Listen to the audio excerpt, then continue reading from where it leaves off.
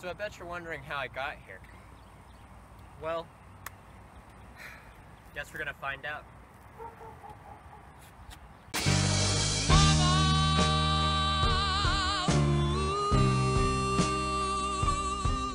Didn't mean to make you cry if I'm not back again this time. Hi, I'm Daniel Burnham. I'm Chief Bokononist here at the Church of Bokonon.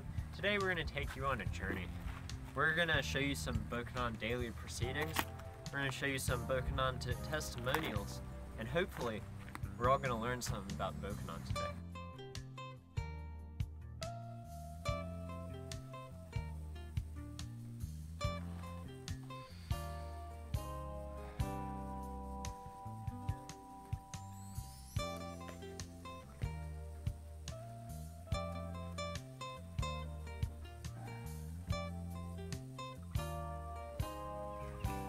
Now, uh, this next one's gonna get a little hot.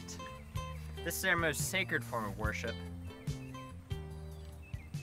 Boko-maru. You sure you're ready? Yeah. Look, I know this is your first time, but we'll take it slow. Okay. Alright. Like this.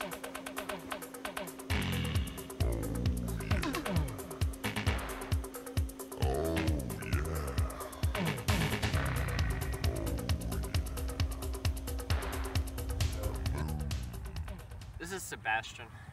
I named him Sebastian because he loves jazz. Now, I love this dog like I love La La Land.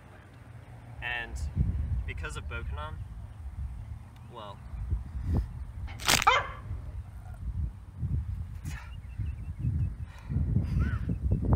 sometimes you gotta do what Bokonon tells you to do.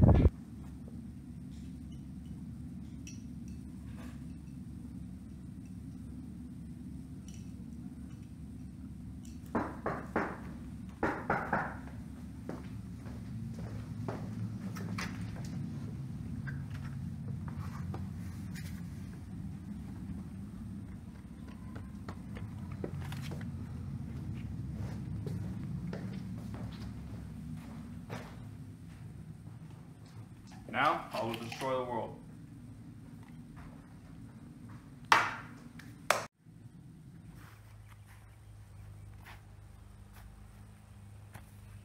Oh, um, so today we have um, we're gonna we're gonna attend a Bokonon funeral.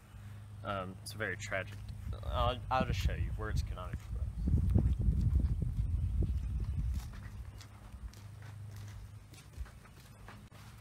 I need to be quiet. All right, so this here is the deceased. Uh, it's a one George Smith. Um, what you might notice is uh, he's surrounded by his wampeters. Um, this was actually his weaning wampeter. A wampeter, if you don't know, is uh, it's what your karass revolves around, the group of people that hold something in common with you. And this is what they hold common.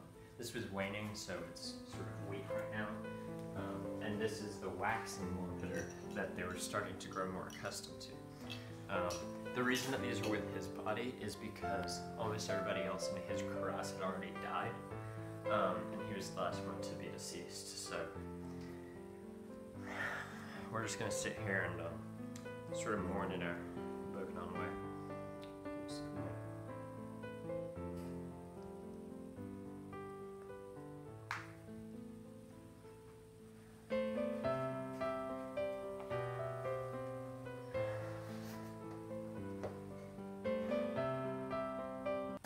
Now today you've seen some natural economists and how they live their lives. Uh, we understand not everybody is immediately welcoming the idea of Bokonon, but well, take this guy for example. You know, I'm not, I'm not really a fan of Pokemon. I'm more of a Christian. This was Noah Kelly after we first introduced him to Bokononism. Uh, let's take a look after we persuaded him to uh, give Bokonon another try. No, there are worse things than Pokemon. So what do you think of Balkanism? Eh, it's, it's pretty dang to me. Every day. Through Bokononism, I found my meaning in life. I pray to Bokonon every night. It's great. It's Awesome. Well, guess you know how I got here now. Well, maybe you don't, but neither do I. And maybe that's the point.